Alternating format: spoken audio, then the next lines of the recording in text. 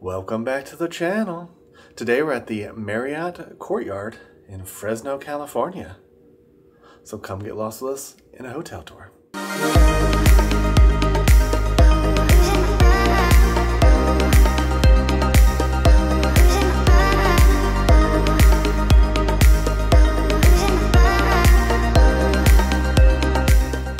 Macy's busy working a contract, so I'm gonna take you around on a quick room tour before we head out to the hotel. As you can see, here's the entryway. There is not much light in the entryway. There's this one side light right here, and that's it. That's all you get light-wise. Now, there is a full-length mirror in the entry area, which is really nice. It's nice and clean. And then back here, we got the right, this is the bedroom, and then to the left is the bathroom. So let's go check out the bathroom. So the first thing when you get to the bathroom, on the back side towards the sort of hangout area, I guess, is the closet. It doesn't go all the way up to the roof, which is really weird. Some interesting decisions were made design-wise in this place, but you got some hangers. There's an ironing board in there. You got an extra sheet and a blanket. You got a hair dryer. You got the typical luggage rack, and then we spin around to the other side, and you've got a rather small sink. You got a mirror, and then you got a light above it. The weird thing about this is switch placement. Now, there's a switch here. This turns on just the lights above the vanity, right? And then this switch right here by this outlet turns on the one inside the toilet area. So I open the door. This is the toilet area with the shower. You've got a pretty standard toilet, got a rack with two towels on it, and then we got the shower. I used the shower last night. Pretty good water pressure, good heat, pretty decent space for your stuff too. I do kind of like that part. The exhaust fan is really loud, uh, but hopefully that means it's working. And you got this little safety bar when you're getting out of the shower, but that's it for the bathroom area. Now, it's not very big. As we back out, you'll see that's pretty much the bathroom area right there. And it is right next to the entry door. Next, let's take a look at the living room. Making our way to the living room. Now, this is the thermostat. There's one in the living room, and then there's also one in the bedroom area. So there are two different air units. They're against the wall. They're sort of the old school uh, wall units, I guess. One thing I will say about this room is it's super dark. So you can kind of see it on camera. Over in this corner by this far door, which you can open up to connect rooms, there's not a single light over there. Not one. It is so unbelievably dark. Uh, and we have been here for a day, so some of our stuff is out, and we're actually getting ready to pack because we're heading to San Francisco. So if you want to see our adventures in San Francisco, be sure to subscribe to the channel. Uh, but back to the room tour. There's this little lamp over here, gives off a little bit of light, and there's a table underneath it. They do have a couch over here. Now the couch does have a have a pull out on the bottom supposedly. Uh, we haven't tried it. That can give you a separate bed. Can't guarantee it, but according to the website it does. They have this bench for your feet. Then they have a TV over here. Pretty good size for the room. Ooh, a little blurry there. It's a decent size for the room. You got some cabinet and storage space. There's nothing really in there. You got your desk here, which I've been working on, has one little lamp, not a not a single light there. And then you have like this pull-out table, but you only have one desk chair for the pull-out table. So I'll never get that. At a lot of these Hiltons and the Marriotts do this, but it doesn't make sense because the dining room table, you only get one chair for it. So who else is going to sit with you at this dining room table if they only have one computer chair? Now this is pretty nice. This is probably the best lit area in the entire apartment. There's two recessed cans over this. Uh, it's almost like a wet bar, but there's no sink here, so it's not technically a wet bar. You got your uh, knockoff coffee maker. Knockoff Keurig, I guess, coffee maker. You got an ice bucket. You got a tiny fridge. And then you got a little microwave. And then there's nothing in these again. See, there's nothing there, so it's just kind of more storage, but there's nothing down there. I don't know what you'd actually keep in there if you wanted to, but that's kind of the wet bar area. And again, this is the brightly, this is the brightest, I guess, part of the entire room, other than the bathroom vanity area, which is a weird decision because it's kind of far away from everything else, and you'll see everything else is really, really, really dark. There's this weird piece of artwork out here too.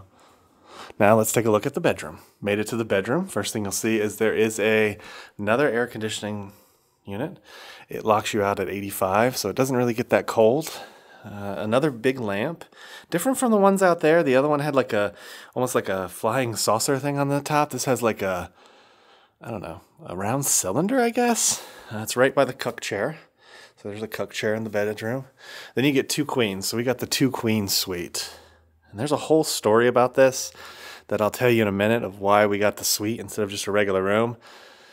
Uh, but let me finish this tour first. Then you got another dresser, kind of similar to what's out in the living area. You got three drawers and then a bigger sort of side one. The TV's okay size. It's about the same size that's in the living room. You got your wall unit for the air conditioner. And then over by the beds, there are just two outlets underneath these lights. And then you have two USBs in the uh, alarm clock and then there's a phone and a little table with one drawer and a blank spot underneath it. Now, I will say again, not very many USBs. The only USBs in this entire room are the clock. Uh, the, the outlets in the light thing don't, don't really work very well. Uh, one of them doesn't work at all. The other one, I don't know, I have not tried it yet. Uh, so it definitely could use a refurb, getting a couple extra switches and some charging spots so that you stay here. There's nothing on either side of the bed, so there's no nightstands between, or I'm sorry, on the other sides, just the one in between, which is okay, uh, but it does kind of limit you for what you can do here. So yeah, this is the bedroom. Now let's talk about our experience getting the room. One more thing before we get to the how we got the room. Uh, we have stayed here again a couple nights, so that's kind of why the beds are a little disheveled. It was really clean for an older place. You'll see they even has popcorn ceilings, which is always weird. Uh, for an older place, this has been really clean. So this was a really clean room. It smells pretty decent in comparison to some of the other ones that we've had it just could definitely use a refurb when it comes to upgrading some tech.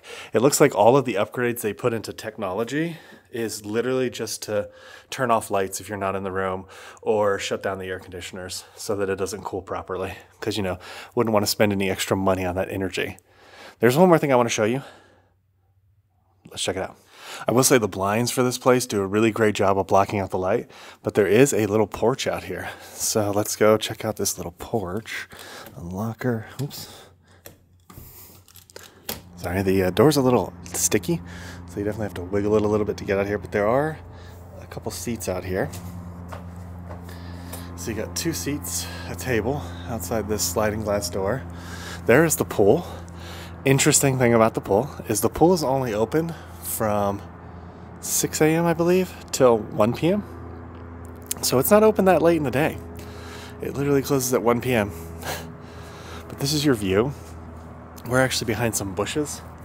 Uh, on the other side, you can see that if you head to the room, you'd just be able to walk right out onto the concrete. So I don't really understand why this one has bushes in front of us and we can't get out there. Some nice plants, though. Some red stuff. Over that way, there's the gym right there. Wow, it's really dark right now. I'm guessing the lights are on a timer. And then on the other side of the hallway is where the laundry room is. So if you're interested, you basically just go out our door in the front, pop right around, and there it is. Look at that. It used to have a light out here too that they've capped off. Something I noticed in this place is that they've capped off a lot of lights. Like I was saying, in both of the rooms, there's actually a capped off fan place. So a fan's supposed to be here with lights, which would light up the room better but they've taken out the fans for whatever reason. And now there's almost no light in either of these rooms. I, I don't understand it, honestly. Like, just leave the fans in, put the lights up, roll with it. Plus, I'm, I'm one of those people who love fans, so I do enjoy a fan whipping in the evening. So an interesting thing about this experience, check out the show notes below, we actually filmed the video of coming here. NACCE works as an OPC, which is an organ procurement coordinator or organ procurement specialist. We headed out here pretty late in the evening. Got here at like 8 o'clock. We're supposed to just get a single room, uh, and it was supposed to have two twin beds and just a single single room, nothing fancy. We got here, the door didn't close. Uh, you could literally just shove the door the, from the outside and get right into the room. Uh, we tried to report it to the hotel staff, and they literally told us, too bad, so sad. It took us about 30 minutes to an hour of arguing with them with like, this is ridiculous. The door at least needs to be able to lock It's insane that you're putting us in this room, that they finally put us in this room. Come to find out because we are Marriott Bonvoy members, if they had uh, like pushed us away, they apparently owe us like $100 in cash and some other points too and stuff. So they put us in this suite, acted like they did us a favor, but in all reality, we had a hotel room that the door didn't close. So if you're considering this hotel, let me say that's that's definitely one of our first red flags. Now stay tuned to the end after our the rest of the hotel review and we'll give our legit final thoughts and talk a little bit more about it. This is what the hallways look like. They have this weird sort of triangle floor pattern. This reminds me a lot of the hotel we stayed in just outside of New York. It's very much the same smells, the same look. It's kind of interesting. Here is the outside of the building at night. That is the front where the check-in is. There's a middle doorway with elevators. And then over here looks like some big body of water, which I'll check out during the day and find out what that is. But there's like a big body of water between us and whatever that is over there. Here's the business center. I got uh, three PCs, a printer. Then they also have a bar back here with a bistro and restaurant. And this is the lobby. And they have a little market over here too. Here is the market. In case you're wondering what they offer in the market. Zoom out a little bit for you. The market.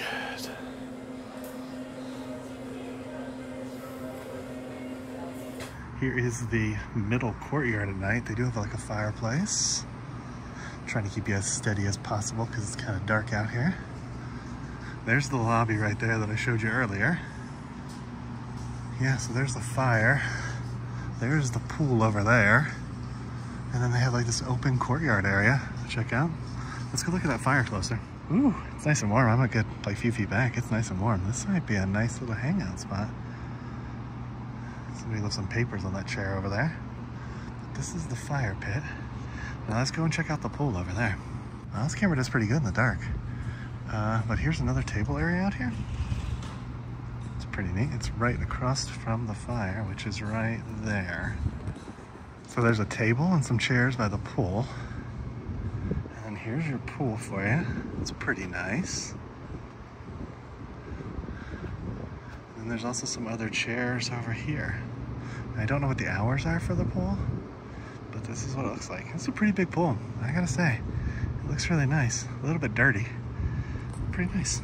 So this is kind of strange. The pool is only open from 6 a.m. to 1 p.m. That's really weird. The pool's only open for five, six, seven hours? I say five, seven hours. And there's no whirlpool, apparently there used to be a whirlpool. Seven hours. So they got a uh, bike that's down for service. They got a treadmill that's down for service. So only two of the three treadmills work. Impressive. They have a bench, some balls, giggity, some of the bells, and then they have some free weights. They have a mixture. They definitely have a strange mixture of weights here. They have like multiple kinds. They have like these circle ones. They have these ones. And then they also have these circle ones. So they definitely have a hodgepodge of weights and they're missing. Looks like they're missing the 50s. And this is the room. Give you a quick pan of the whole thing. At the fitness center. And they do have some towels. And then right out there is the pool and stuff in that big courtyard area. So inside they call it a fitness center. Outside they call it the exercise room. I don't know what they want to really call it. That's back here. Found the ice machine. It's all by itself. There's nothing on the first floor. It's on the second floor.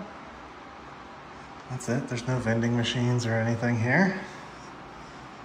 And a little air conditioner for this place. So it's actually kind of cool. And like, most of these places, this is a pretty warm area, weirdly enough. At the back of the hotel, literally the farthest back on the right side, which is this way, down that way is the lobby, is the guest laundry. Let's check out. So they have one washer, one dryer, 150 to wash, $2 to dry. Look at how old these machines are. And you're lucky you don't have smell-o-vision because there's definitely like a damp odor. Like the washer has not been cleaned. You know, like if you don't clean, there's actually a cleaning thing to clean out the water and stuff. It's definitely got that funk. It has got a funk back here. Wow, really bad funk. And they have a little folding table. I might not do laundry here. We were thinking about it, but the smell is definitely throwing me off. And that is the cycle times. Those aren't really accurate, just so you know. But $1.50 to wash, $2 to dry. On the other side of the gym, here's some dirty laundry just hanging out in the hallways.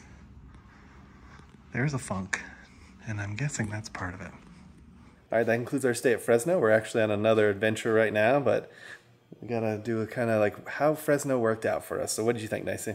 So Fresno was kind of interesting. It was like a last second had to find a hotel in the area. When we got there, come to find out there was a huge sports group that was staying the night and they put us in a the jankiest room that I've ever been put in in a Marriott to date. Basically, when we got to the room, the door was actually ajar because the lock was stuck. So you could pretty much just walk in the room and none of the lights worked. So we ended up going back and forth to the front desk at least three different times. They wouldn't change us rooms. Finally, on the third try with having issues with the door, telling us that they would just we should just use the little flip lock.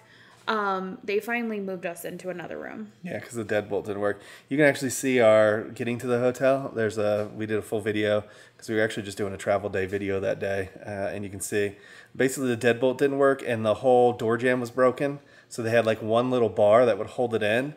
Uh, so when you close the door, it would basically be stuck up, stuck closed, and you couldn't get it open until you like ripped it out.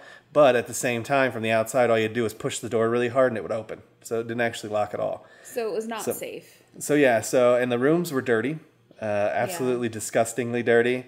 Uh, the staff was not friendly or helpful. They gave us uh, drink coupons to Starbucks for our trouble, and it was like, okay, um, I would prefer an adult beverage at this point because you know an adult beverage might have helped. It's not close to anything. It's all kind of by itself. The gym, as you saw in the video, most of the equipment didn't work. It never worked the entire time we were there. The laundry had this nasty smell to it. Like um, they needed to clean out the like water and stuff. It was definitely some like stale water. Oh gosh, it was so stinky, y'all. It- you're lucky you don't have smell of vision because it was nasty. Um, but there were some positives. It was a really big room. The water pressure was okay in the shower, and there is plenty of parking. So if you're just there for the night and maybe you have an extra door lock or something, you consider it. But again, the safety concerns really do do sort of put it on a. I don't think we'd stay there again. Yeah, and it's definitely put courtyard as a overall. We're just not going to stay at the courtyards for a while moving forward. Yeah, if you remember the one that we stayed in in New York, it was kind of a similar shape, cleaner, and the locks work, but it was kind of the similar shape as this one is. Uh, and we stayed at a couple other ones across the country, and they all seem to be kind of the same. So yeah, so overall, like we just said, it's it's not the top list. There's definitely ways that they can improve that property, but if you're just staying for a night, it's probably not that bad. Assuming you get one that locks the door, so make sure you test that door out if you stay there. So if you guys like this kind of content, make sure you hit that thumbs up Hit that subscribe button, and make sure you ring that notification bell so you get notified when we do at least three videos a week. and we'll come and get you all for the next one. Ain't that the truth, baby Ruth? Bye, everybody. Bye.